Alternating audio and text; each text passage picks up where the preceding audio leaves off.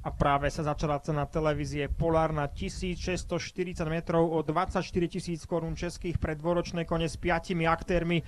A okamžite dopredu vypálila Nanana v súlke s Dieterom Marcom, ktorá si vypracovala krátko po štarte 3 až 5 dĺžkový náskok, teraz tam boli problémy, Ondřej Kozel musel brať späť cválajúcu Aidu V, tá sa prepadla až za predposlednú hru Fortuna na prvej pozícii v solidnom tempe Nanana, za ňou potom uh, tréningový partner Quantity of Church a z vonkajšej strany aj Santos Tech. V takomto poradí pôjdu kone po prvý raz skúšať do cieľovej rovinky.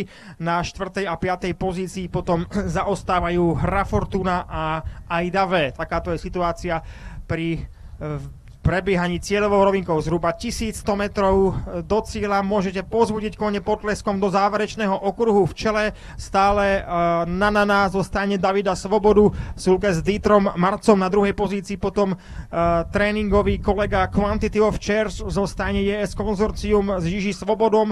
Na tretej pozícii v tzv. husom pochode nasleduje Santos Teč, ktorého naviguje Roman Chrastina pre rodinu stajňu Tečovice so stratou na štvrtej pozícii. Dobrý dobrých 100 metrov stráca e, jeho tréningová kolegyňa Aida V, ktorú vedie Roman Kozel pre Staňu Tečovice a na poslednej pozícii so stratou ďalších 50 metrov e, s číslom 1 nasleduje Hra Fortuna zo stajne Vávra Chropine v súlke s Pavlom Vávrom. Teraz je to tam natiahnuté, ale na konci protilahej steny zacválala líderka Nanana a prepadla sa na druhú, možno aj tretiu pozíciu. Dieter Marziu až teraz zrovnal a z toho bude profitovať uh, Quantity of Church. Quantity of Church Získal náskok, Santos Tech trošku stratil, keď sa vyhýbal cválajúcemu koňovi, takže stráca dobrých 7 dĺžok na druhej pozícii, ale zatiaľ to stále vyzerá na dramatický súboj Quantity of Church a ešte Santos Tech sa snaží v cieľovej rovníke prísť popri bariére, stále je to Gigi Svoboda, ktorý kontroluje situáciu, ale Roman Chrastina sa nevzdáva.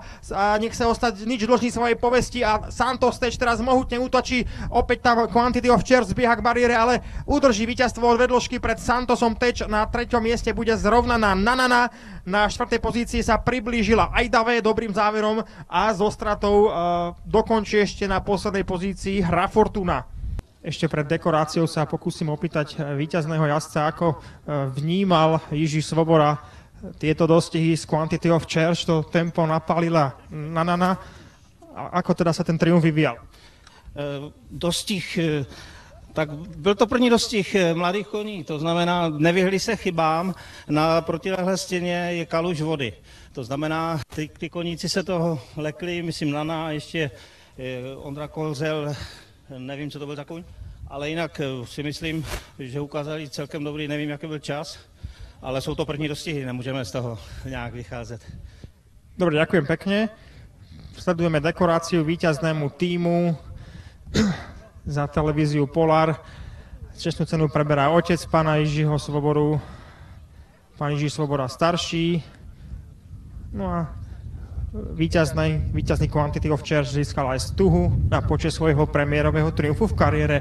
Gratulujeme a držíme palce koníkovi, aby mal mnoho zdravia a mohol ukázať svoju triedu aj v, v ďalšom priebehu sezóny.